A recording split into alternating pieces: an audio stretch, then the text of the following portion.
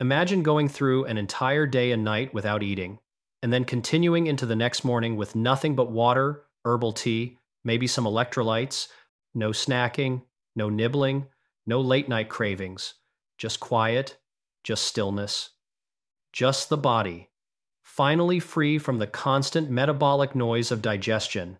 This is the experience of the 36 hour monk fast, an ancient practice modern science is finally beginning to understand. And what we now know about what happens during those 36 hours is nothing short of remarkable. You are about to discover that monk fasting isn't simply longer intermittent fasting. It isn't starvation. It isn't deprivation. It's a deeply biological, highly strategic process that unlocks metabolic pathways your body has been waiting, sometimes begging for you to activate. We're talking about fat breakdown, cellular repair, mitochondrial renewal, insulin resetting, inflammation reduction, and deep metabolic cleansing, all in a single, structured fasting window. And as you'll see, the body begins shifting into this healing mode far earlier than most people realize. Most people think fasting is just not eating. But fasting is actually a conversation between your brain, your cells, and your energy regulation systems. When food is absent, your body begins sending new instructions. Instructions that say, prioritize efficiency, fix what's broken, burn stored energy, recycle damaged components, and unlock emergency pathways designed to extend life. For millions of years, humans went through periods of food scarcity. Fasting is not new. But what's new is that we now have scientific data showing how fasting, especially fasting beyond 24 hours, creates profound metabolic changes. And this is why the 36 hour monk fast has become one of the most powerful tools for fat loss and cellular rejuvenation. The journey truly begins around the 12 hour mark. You've gone half a day without food, and your body's glycogen stored sugar in the liver is running low. This is the moment when your insulin levels finally begin to fall significantly. Insulin is the hormone that locks fat into storage mode. When insulin drops low enough, it sends your body a message it rarely hears in our modern world. Unlock the fat stores. Release the energy. Begin the burn. Most people never reach this state because they constantly snack or eat late into the night, keeping insulin elevated around the clock. But your monk fast is breaking that cycle. By now, your body is switching from external fuel, the food you normally eat, into internal fuel, and that internal fuel is your own fat. This is the first major step toward transforming your metabolism. By the 16 to 20 hour mark, something even more interesting happens. Your fat cells begin releasing fatty acids steadily into the bloodstream, and your liver begins converting some of these fats into ketones. Ketones are an extraordinary molecule. Your brain can use them for fuel, your heart can use them, your muscles can use them. They burn cleaner than glucose, producing fewer free radicals and less metabolic waste. Most importantly, ketones act as signaling molecules. They trigger pathways that reduce inflammation, enhance autophagy, repair damaged DNA, and even stimulate the growth of new brain cells. When people say fasting gives them mental clarity, this is why. The brain loves ketones. It actually performs better on them. And this cognitive shift is one of the reasons monk fasting has been practiced by spiritual traditions for centuries. But the magic of the monk fast truly awakens after the 24 hour point. At this stage, your body crosses a threshold most people never experience. You are no longer just burning fat, you are reorganizing your cellular economy. Let me explain. Every cell in your body contains damaged proteins, misfolded structures, broken mitochondria, and sluggish components that need to be removed. Normally, these damaged parts accumulate because the body is too busy processing food, toxins, and daily stress.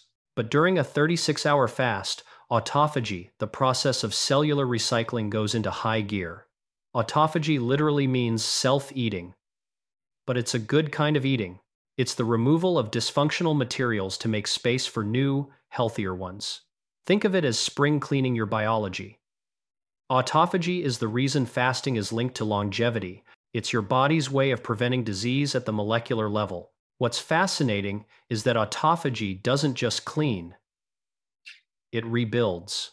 When unneeded or damaged components are broken down, the raw materials, amino acids, nucleotides, fatty acids, are reused to create stronger cellular structures. This is one reason why fasting appears to improve immune function. Old immune cells are cleared away, and new ones begin forming once eating resumes. It's also why fasting improves skin health, tissue repair, and even metabolic flexibility. By the time you hit 24 30 hours into your monk fast, your body is operating at maximum cellular efficiency. It's not sluggish, it's fired up. It's not shutting down, it's optimizing. And the more often you allow this state to occur, the more metabolically resilient you become. Now let's talk about fat. When your body moves deeper into the fast, it begins targeting visceral fat, the fat stored deep inside your abdomen around your organs. This is the dangerous fat responsible for insulin resistance, inflammation, fatty liver, and increased risk of chronic disease. Most diets do not target visceral fat effectively, but fasting does. During a 36 hour monk fast, the body is drawing heavily from its internal energy reserves, and visceral fat becomes a prime target. Studies show that fasting reduces visceral fat more efficiently than traditional calorie restriction. Why? Because fasting creates the hormonal environment necessary for fat mobilization, lower insulin, higher growth hormone, increased norepinephrine, and metabolic shifting toward fat oxidation. These hormonal changes do not happen with normal dieting. They require extended periods without food. And that's exactly what you're activating. As you progress past the 30 hour point, you reach the peak of metabolic healing. This is when the benefits compound. Growth hormone levels rise dramatically. Growth hormone isn't just about muscle, it's also about cellular repair, collagen support, and fat breakdown. At the same time, insulin is at its lowest point. Lower insulin sensitivity during fasting is often misunderstood. What's actually happening is your cells are resetting their insulin receptors. Once you reintroduce food, your body responds far more efficiently. This is why monk fasting is used by people trying to reverse early insulin resistance, because fasting creates a metabolic reset in a way few other interventions can. Another remarkable shift happening around this time involves your mitochondria, the power plants inside your cells. Mitochondria suffer damage over time from poor diet, stress, toxins, and aging. But fasting activates mitochondrial biogenesis, the process of making new, stronger mitochondria. Imagine exchanging old, damaged batteries for fresh ones. This is one reason people often feel energized after completing a monk fast. Their mitochondria are literally functioning better. And because energy production improves, fat burning becomes easier in the days after the fast. Your body becomes more efficient, more flexible, more capable of switching between fuel sources. This metabolic flexibility is the hallmark of a healthy metabolism. Now, you may wonder, what happens mentally and emotionally during a monk fast? Surprisingly, many people describe a sense of calm that emerges after the 24 hour point. This is not just psychological, it's biochemical. Ketones and fasting stimulate the release of GABA, a neurotransmitter that reduces anxiety. Fasting also increases BDNF brain derived neurotrophic factor, which supports memory, learning, and brain resilience. This is why fasting is being studied for cognitive health and neuroprotection. But beyond the science, there is something deeply grounding about giving the digestive system a rest. The body feels lighter, the mind feels clearer. Focus sharpens, and the spiritual traditions that practiced monk fasting understood this long before science did. As you approach the final stretch past 32 hours and up to 36, you are in the deepest fat burning zone. At this point, the majority of your energy is coming from fat. The liver continues producing ketones steadily, autophagy remains highly active, and inflammation markers are significantly reduced. If you struggle with joint stiffness, bloating, brain fog, or chronic inflammation, the final hours of monk fasting are often where the biggest improvements occur. Inflammation is energy intensive. When the body is not occupied with digestion, it diverts resources toward reducing inflammation. This is why fasting has been shown to lower markers like CRP and oxidative stress. You are giving your body a break from the constant inflammatory triggers of everyday eating. So then the natural question is how do you break a monk fast properly? Because the refeeding phase is just as important as the fast itself. When you reintroduce food, your digestive system wakes up gradually. The enzymes start flowing. The gut microbiome responds. Your cells begin using fuel again. The best way to break a 36 hour fast is with gentle, nutrient dense foods a broth, steamed vegetables, fermented foods, lean proteins, healthy fats. Nothing too heavy, nothing too processed, nothing that shocks the system. When you break the fast correctly, the metabolic benefits continue long after the fast ends. Your insulin sensitivity remains improved. Your fat burning engines remain active. Your cells continue building newer, stronger components, and your hunger patterns begin to normalize.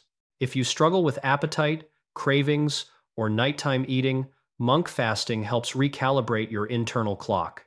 Over time, people who practice monk fasting once a week or twice a month begin noticing life changing benefits easier fat loss, reduced bloating, improved blood sugar, better sleep, clearer thinking, reduced inflammation, and more stable energy levels. Their eating patterns become more intuitive. Their body stops demanding constant food. Their metabolism becomes sharper. And perhaps most importantly, their relationship with food becomes healthier, not based on restriction, but on alignment with their biology. Fasting is not punishment, it is restoration. And despite what many people assume, a 36 hour fast doesn't shrink your metabolism. In fact, studies show the opposite. Short term fasting increases resting energy expenditure, this is because growth hormone rises and norepinephrine, the fat mobilizing hormone, increases. Your body doesn't slow down, it accelerates. Your metabolism becomes more efficient precisely because it is using its stored resources. Starvation and fasting are not the same. Starvation is unplanned, uncontrolled, and the body responds by shutting down. Fasting is intentional, controlled, and the body responds by optimizing. Now let's talk about the fat burning timeline within the monk fast, because this is where most people experience the transformation. During the first 12 hours, you're burning mostly glucose. Between 12 and 20 hours, you switch into fat burning mode. Between 20 and 30 hours, ketones take over and fat burning becomes dominant. Between 30 and 36 hours, the body begins tapping into deeper fat reserves, including visceral fat. This is why the final stretch is so powerful. You are not simply losing water, you are burning stored energy with extraordinary efficiency. One of the most fascinating discoveries about monk fasting is that lean mass, the muscle you want to preserve, remains intact. Growth hormone protects it. Ketones protect it. Your body is biologically designed to preserve muscle during fasting. Muscle was essential for survival. So, if your concern is muscle loss, the research is clear. Short term fasting does not sacrifice muscle tissue, it preserves it while targeting fat. And then there's the hormonal effect. Fasting dramatically reduces insulin, but it also improves leptin sensitivity.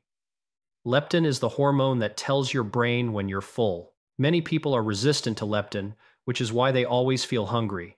Monk fasting helps reset that pathway. After a 36 hour fast, your hunger patterns often shift. You feel satisfied with less food. Cravings weaken. Emotional eating decreases. Your appetite becomes more stable. This is the real power of monk fasting. It restores the communication between your hormones and your brain. Once that resets, fat loss becomes natural, not forced.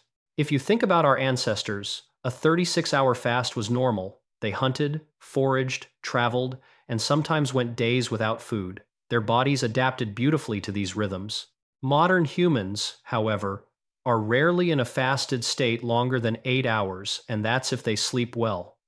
By practicing monk fasting, you are reactivating an ancient biological program, a program designed to heal, a program designed to burn fat, a program designed to restore balance. So, what can you expect the first time you try a monk fast? The first 12 hours usually feel normal. Between 12 and 18 hours, you may feel hunger waves, but they pass quickly. After 18 hours, you begin feeling lighter. After 24 hours, ketones increase and your mental clarity improves. After 30 hours, many people describe a sense of calm, focus, and smooth energy. And near the 36 hour mark, something remarkable happens. You realize how capable your body truly is. You realize that hunger is not an emergency. You realize your metabolism is far more flexible than you were taught. You realize your body thrives on rest, not just sleep, but metabolic rest. And when you end the fast, you feel renewed. Your digestion feels smoother. Your inflammation feels lower. Your mind feels clearer. And your confidence grows not because you restricted yourself, but because you honored your biology. You gave your body space to heal, and your body responded exactly as it was designed to do. That is the real beauty of the 36 hour monk fast. It teaches you that food is fuel, not a constant necessity. It teaches you that fat is stored energy, not an enemy. It teaches you that your body already knows how to heal if you step out of the way. It teaches you that you are stronger metabolically and mentally than you ever realized. And this is why the 36 hour monk fast is one of the most powerful tools we have today, not only for dropping fat, but for transforming metabolic health at the deepest levels. It aligns with science, it aligns with human biology, and it aligns with centuries of wisdom. When you fast for 36 hours, you're not depriving your body, you're giving it a gift the gift of repair, the gift of renewal, the gift of balance. And the results speak for themselves. If you commit to practicing monk fasting strategically, whether once a week, twice a month, or even once a quarter, you will begin experiencing changes that ripple through every part of your life. Better energy, better focus, better digestion, improved fat loss, reduced inflammation, and a stronger, more resilient body. The journey is simple, but the impact is profound. And as always, your body is ready. It's been ready. All it needs is the space to heal.